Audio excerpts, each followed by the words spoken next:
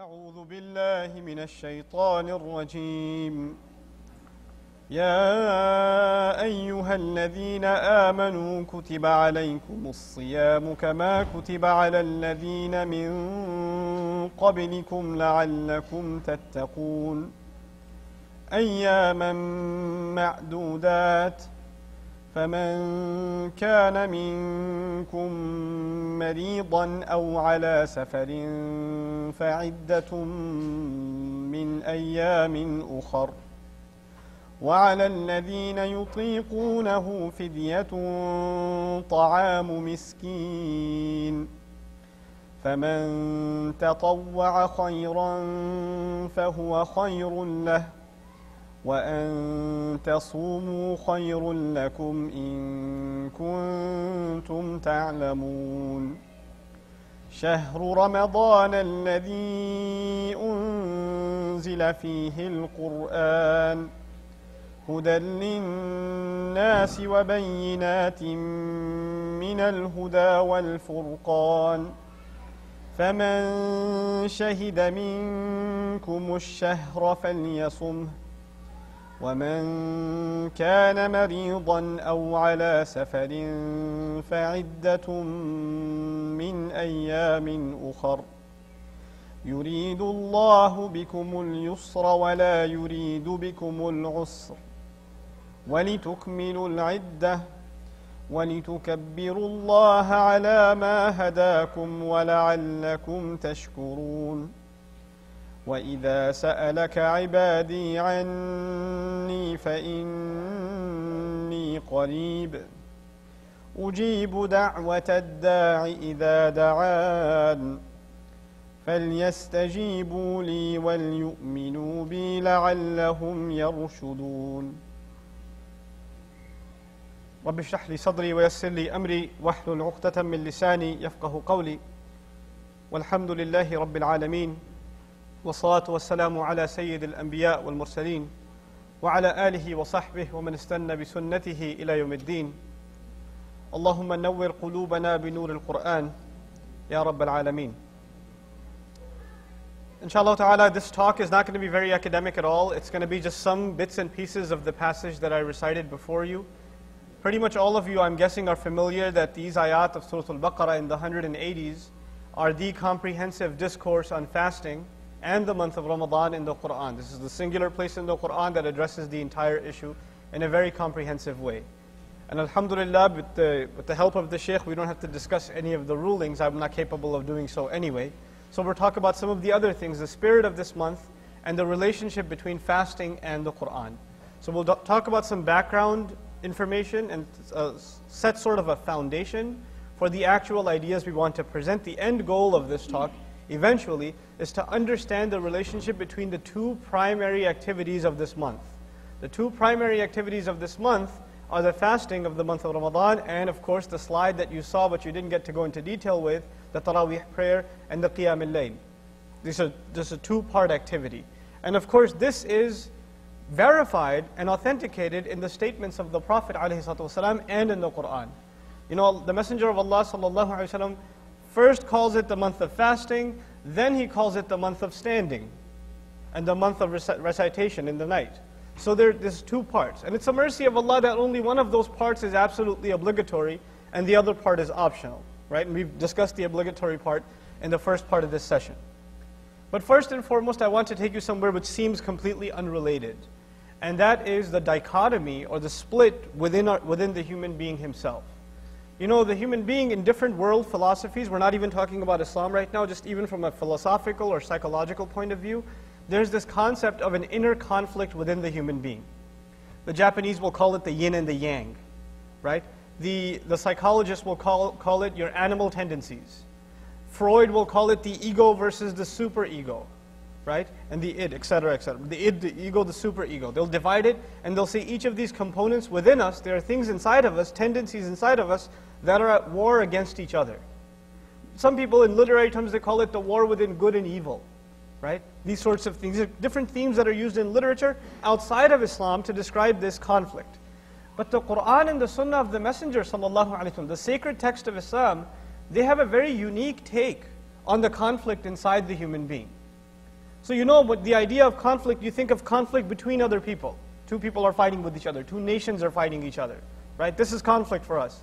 But the conflict I'm going to share with you and remind you about is a conflict that's taking place inside of ourselves. There's a war waging inside each and every person. Allah Azza wa created us of two, two essential ingredients. He created our body, and our, you know, the, the first human being was created from turab, Adam alayhi salam. And you know, when we return, Allah returns us to the very dirt from which we were created, so we are returned back into the ground. This is one part of our creation. But Allah did not just create a body made of soil and clay, and that was it. What was done after that? A ruh was blown into it from the amr of Allah. يَسْأَلُونَكَ عَنِ الرُّوحِ قُلِ الرُّوحُ مِنْ أَمْرِ رَبِّي So there's a part of it that is, that is made of dirt, and there's a part of it that is not made of, it's not made of dirt. Now what is that other part of us? In English literature, you'll call it the soul, Psychologists will call it your personality, your inner self, etc. etc. All these different terms are used. The Quran's term is the ruh. The term of the Quran is the ruh. Now, some interesting things about the ruh. Allah Azza wa created it before even our bodies were created. Before even all of us were created in our physical form in the wombs of our mothers, all of our arwah were, had already been created. And they were in the presence of Allah Azza wa and Allah took there was a gathering of all of them, and Allah took a covenant from them. He took a promise from them, an agreement from them. And from that, we, from that implication in Surah Al-A'raf, this is ayah number 172 of the seventh surah, Surah Al-A'raf. From that covenant, we learned that the ruh already knew Allah, so much so that it's actually talking to Allah. Allah is taking a covenant, an agreement, and asking a rhetorical question to all of us before we were even brought on this earth. And what was the question? The question was, Alastu bi rabbikum? Am I not your master? Am I not the master of all of you? And what did we all respond? Bala shahidna. Of course you are. Why wouldn't you be? We bear witness to that. We testified that Allah is our master before we even came here. What part of us, our body or our, our ruh? I'm not going to say soul, I'll just use ruh, get used to that, okay? The ruh testified that Allah is the Rabb in His company. This already happened before we came here. That same ruh was then delivered to the belly of our mothers when she was expecting us. That same ruh came into the belly of our mothers. And what did it already have? What did it already know? That Allah is the Master. It already had that knowledge.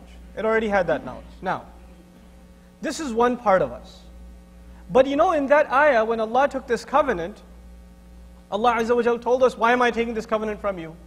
So you don't come back and say, Inna kunna an hadha ghafilin. That you don't come back here and say that we were unaware of this at all. We didn't know at all. We had no idea. Now, you know, in philosophy, you say, and I know this seems disconnected, it'll all come back to Ramadan and the Quran in a minute, or a few, right? You have people that say, How do you know there's a God? How do you know there's even a God? What can you, how can you prove it? Your philosophy professor might be an agnost. He might say something like, I'm not sure if there is one, I'm not sure if there isn't one. What is the Muslim response number one? You already know there is one. You were already born with the belief in God, and you already believed in that God when you hadn't even come out of your mother yet. That was already there. The only difference is you forgot. You became ghafil. You forgot, but it's there. That light, you could call it the light, that light was already inside of you. When you deny that light, you have placed yourself in what then? Darkness. You placed yourself in darkness. So we were given a light that we already had.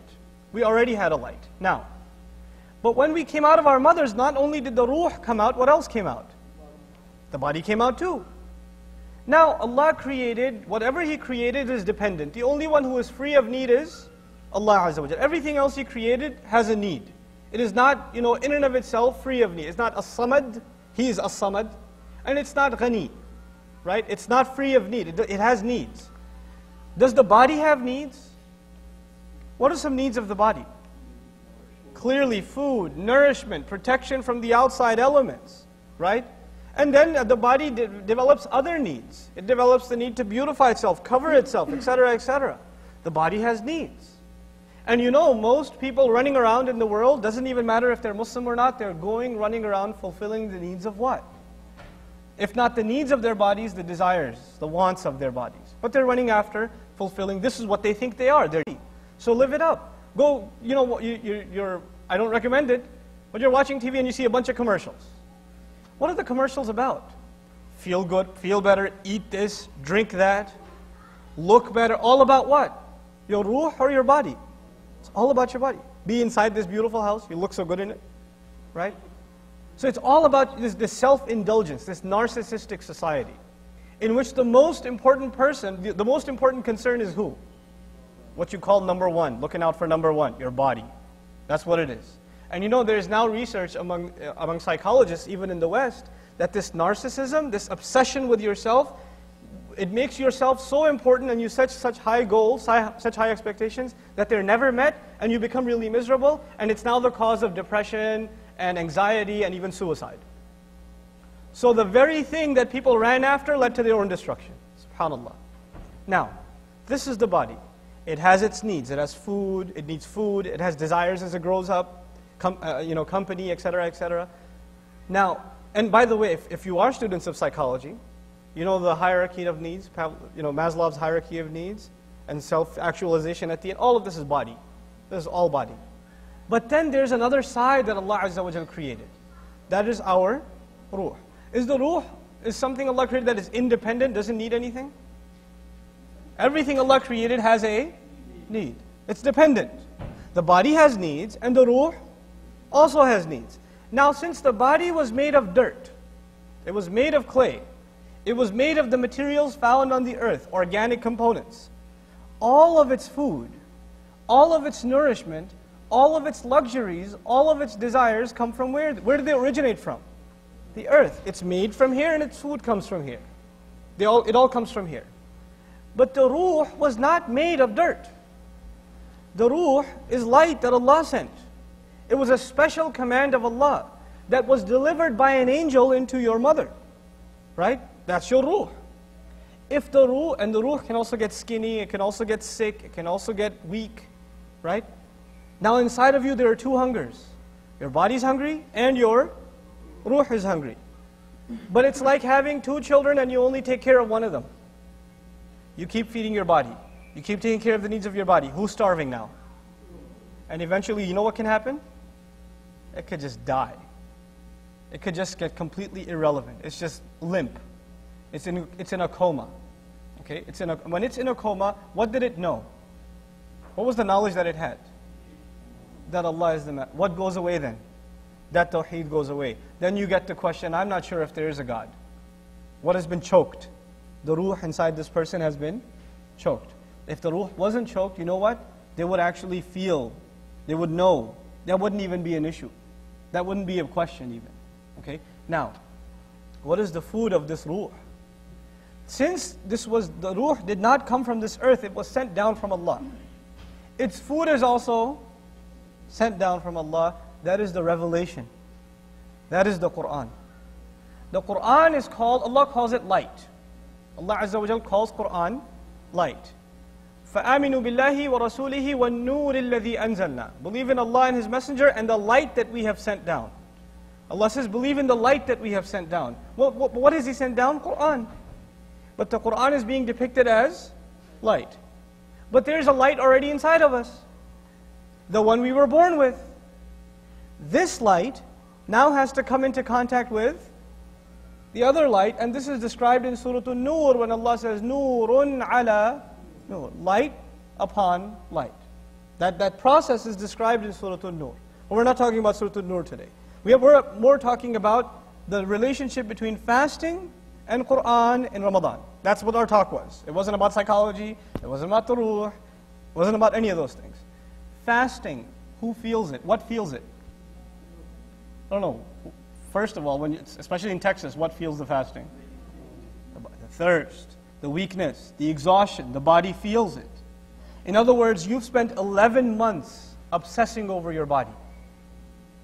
Allah is putting you in a training program where you start weakening what? The needs of your, you hold off from the needs of your body. Which will give what a chance to kind of revive? The ruh. You're giving it some space to grow. But this ruh, it's not just that you stop feeding one, now you have to feed the other. Right? Now, where do you feed the other? At night, when you stand and you recite what? The light that Allah sent down. So you're, you're denying the food of one, weakening one, and strengthening the other. You're, strength, you're regaining that balance that has been imbalanced for most of the year. You're regaining that balance within yourself. The Quran is supposed to be the food of our ruh. It's supposed to be that which we internalize this message that puts balance actually between this body and the ruh. Now, fast the ayat, the ayat we recited in the beginning, Allah Azza wa Jalla says, يا أيها الذين آمنوا كتب عليكم الصيام كما كتب على الذين من قبلكم لعلكم Anybody know? تتقون. Okay. It says لعلكم تتقون. Then he says لعلكم تشكرون later on. Then he says لعلهم يرشدون later on. Then he says لعلهم يتقون later on. لعلكم لعلهم لعلكم. All these different, so that you may, so that they may, so that, so that, so that. By the way, لعل doesn't literally mean so that, it means maybe. لعل doesn't mean so that, it means, or in its original form it means maybe. But when a king says maybe, like, you know, you go to the, you're a poor farmer, you go to the king and says, you, you say, uh, "Oh King, can you give me an extension so I may file my taxes six months later?" And the king says, "Maybe we'll let you go." The king doesn't say, "I'll definitely let you go." He's so grand. What does he say? Is that enough for the farmer though? When the king says, "Maybe," that's enough. He says, "Oh my God, king, he gave me a hint. I'm all right." This is the majesty of Allah when He says, "La'allakum." Maybe you'll get taqwa. He's opening up the door of hope. And we understand that as so that, but it's really maybe here. And it's from His Majesty that He uses this word, subhanahu wa ta'ala. The goal of fasting has been described in this first ayah of fasting. Bottom line, so that you may develop what? Taqwa. Let's first understand what taqwa is. Taqwa essentially is a, a few components, few simple components. I'm not even going into a linguistic explanation of wiqaya, and from then ittiqa and taqwa. Some very, very simple stuff. Taqwa is not fear. The Arabic word for fear is khawf. The Arabic word for fear is khawf. If you have fear, and because of that fear, you protect yourself, you take some kind of precautions, that's called taqwa. Wiqaya originally means protection. So it is not just fear, it is an action taken as a result of fear that is called taqwa. So taqwa has two parts, the feeling and the what? And the action. If it's just the feeling, what do we call that? That's khawf. That's khawf. So taqwa in and of itself necessitates the feeling and the action. You're protecting yourself from coming into harm's way. If you, for example, get your, your, you know, your tires filled up with air, you're engaged in an act of taqwa because you're afraid the tire might blow up on the middle, in the middle of the highway. If you're locking your door at the, in the middle of the night, or you're checking the locks, you're not just afraid that they're open, you're taking an action also. You're engaged in an act of what? taqwa.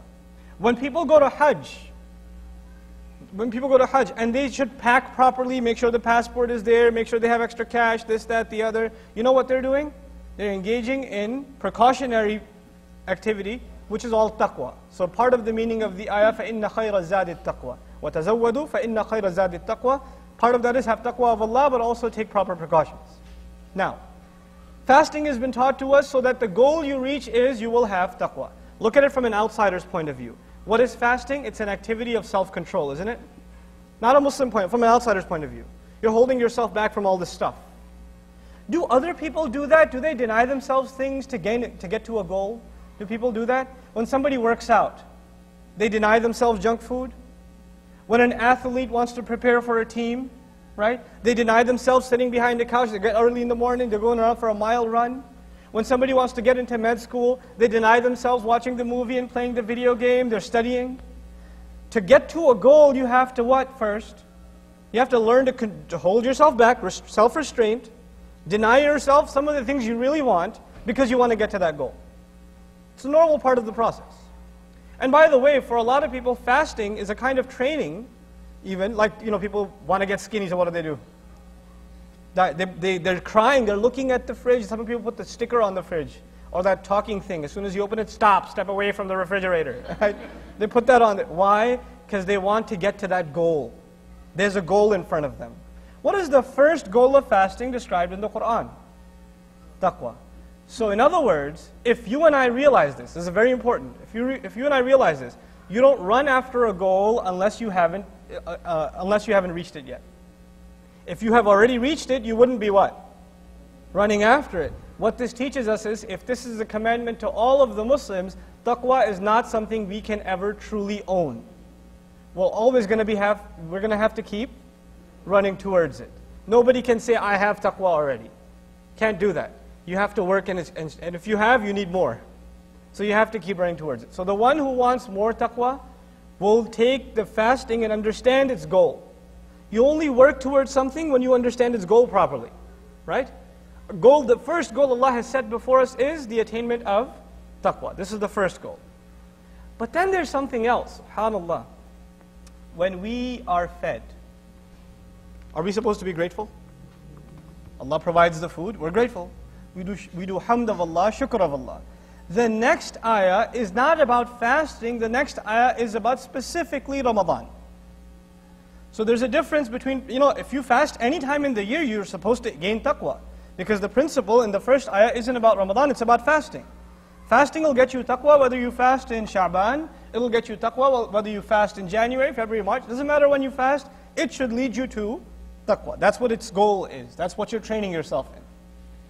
But then what's so special about the fasting when? In Ramadan. What's so special about that? Ramadan is special. Let's listen to Shahru Ramadan alladhi unzila fihi al-Qur'an. Number one. The month of Ramadan is the one in which the Qur'an was revealed. The ayah didn't begin with fasting. The ayah began introducing Ramadan as not the month of fasting, but the month of what?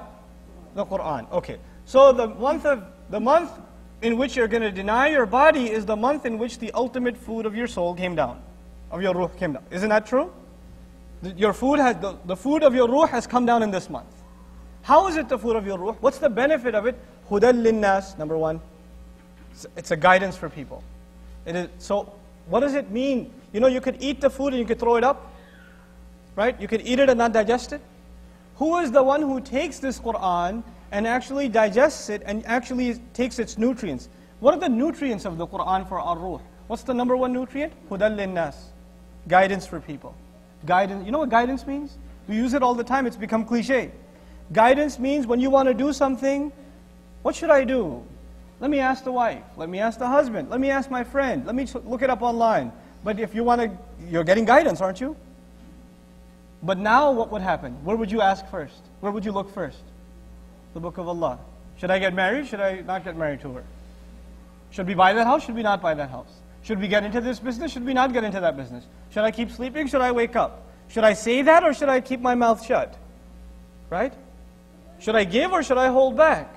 Now, you, every choice you have to make, where are you going for guidance? Quran, that is an indication that you're actually taking it in. And if you're listening to Quran and reciting Quran and attending Taraweeh, when it comes to guidance, you don't take it, that means you're throwing it up.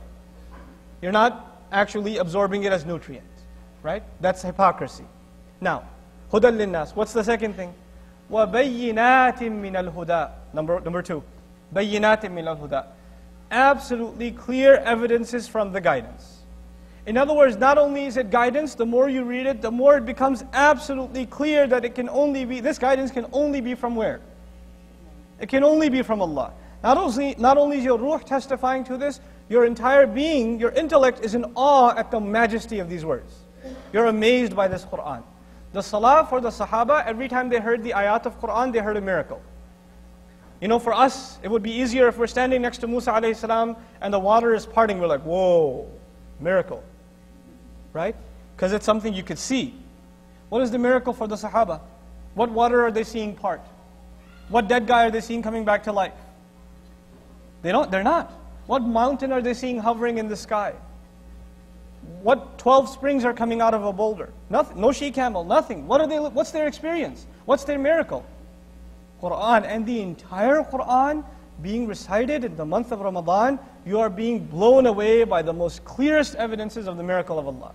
Bayyinat min al huda. And then finally, what's the final nutrient of the Quran, nutrition of the Quran? Wal furqan. Wal furqan. What is furqan?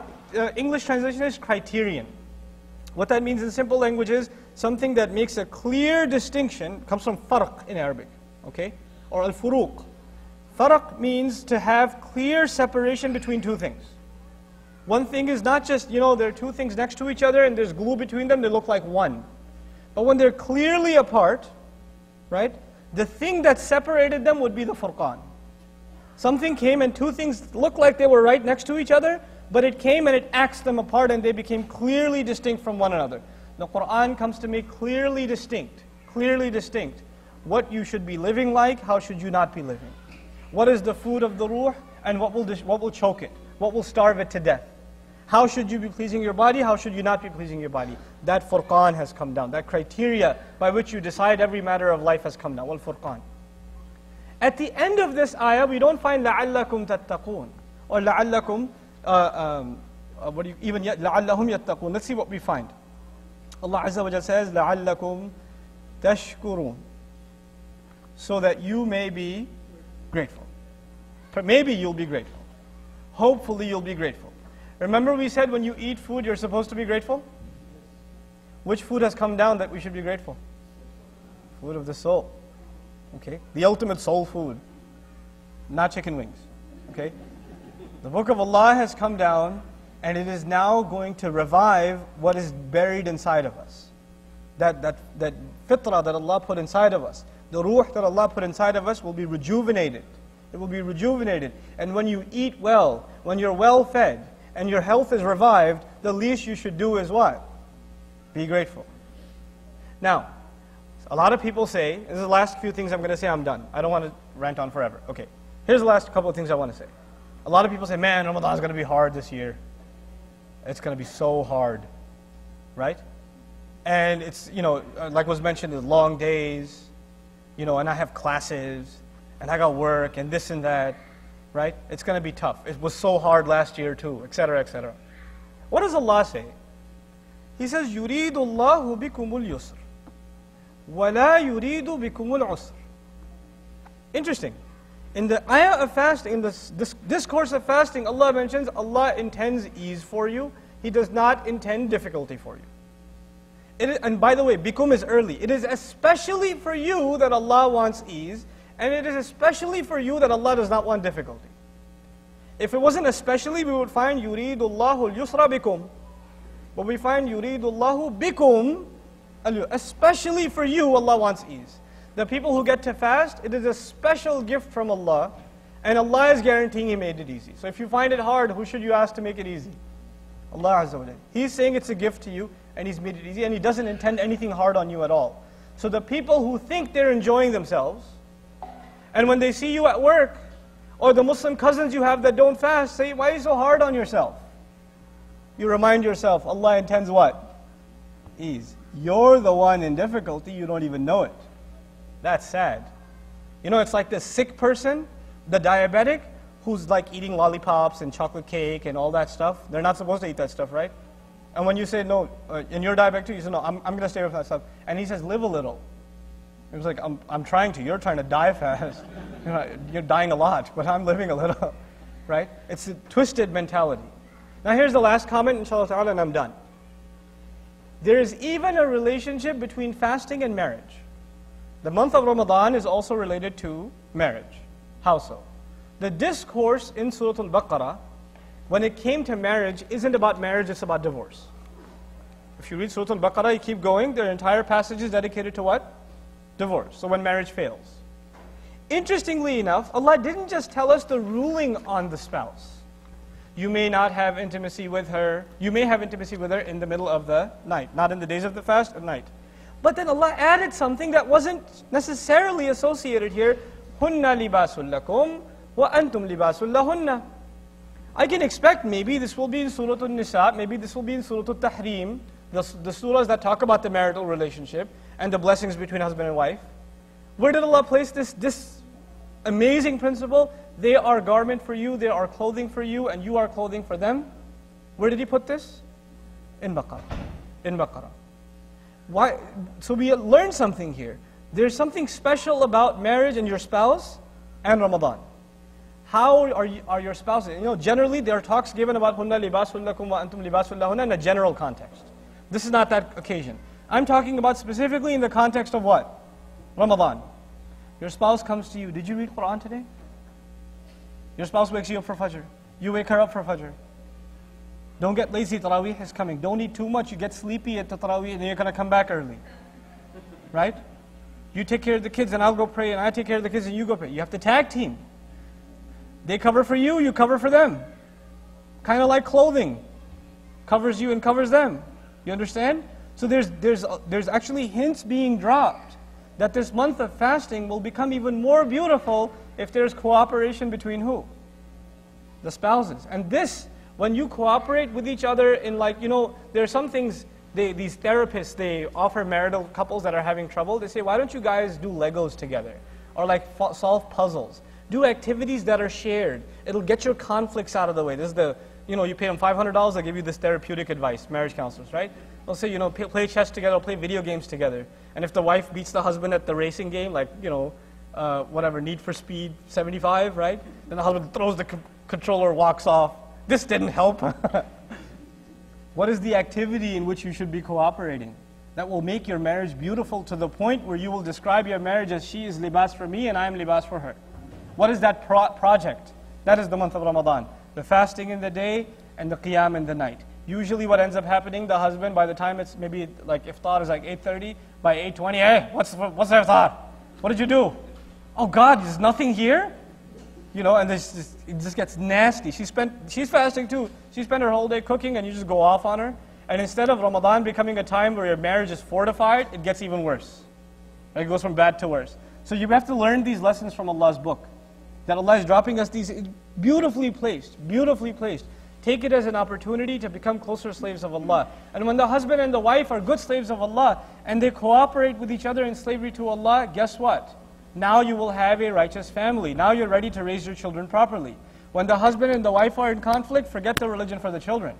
Forget it. That's not going to happen. Illa masha'Allah. So may Allah Azza wa make us take full advantage of feeding our arwah and reviving the iman that Allah blessed us with in our fitrah reviving it by means of this revelation, the, the, the only difference, I mentioned the only difference between us and Sahaba, they could taste the miracle. They could, they could hear the message. Most of us, when we hear Quran, we don't know what's being recited. So what you have to do to compensate for that is one more thing. Okay, I said that's the last thing, but this is so critical, I have to mention it. You have to compensate. You can't just stand and listen to Taraweeh. You have to read tafsir. Better, you have to attend Darsul Quran.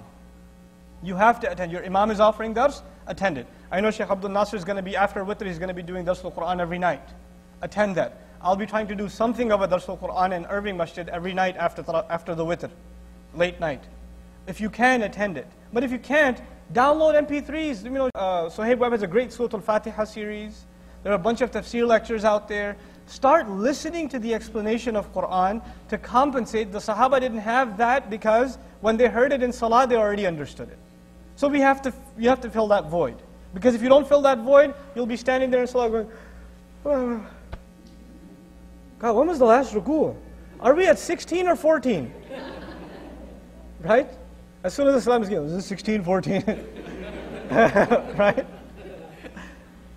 That's not what you want the taraweeh or the prayers to be reduced to. So may Allah Azza wa make us take advantage of these days and these nights. May Allah accept the Ramadan for all of us. May Allah help all of us find the, the Laylatul Qadr in this month and make it a means of the forgiveness of ourselves and our families. May Allah forgive all of our shortcomings. Barakallahu li wa lakum fi al-Qur'an al-Hakim wa nafa'ni wa iyyakum bil ayat wa dhikr al-Hakim. Wassalamu alaikum wa rahmatullahi wa barakatuh.